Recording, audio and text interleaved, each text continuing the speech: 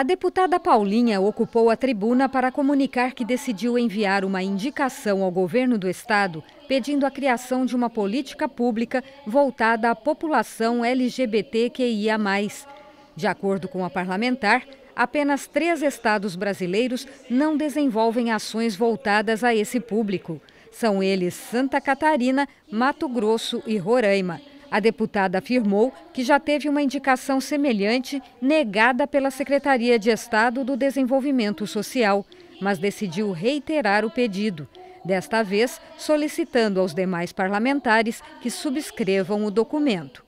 Se a gente quer um Estado mais íntegro, mais justo, mais fraterno, a gente tem que lutar contra a intolerância. E a gente não pode fazer de conta que não existe atos criminosos contra pessoas porque são trans, porque são homossexuais.